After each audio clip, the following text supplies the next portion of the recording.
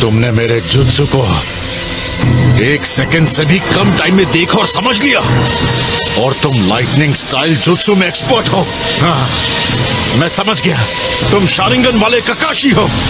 मैं जानता हूँ मेरे चर्चे दूर दूर तक हैं। मैं जानती नहीं तू हूँ मैं बहुत बड़ा जी। हैवी ड्राइवर आते ही सबकी मौज करा दी। करे बाउंस पूरा दिल्ली करे बॉप करा जी खुला जी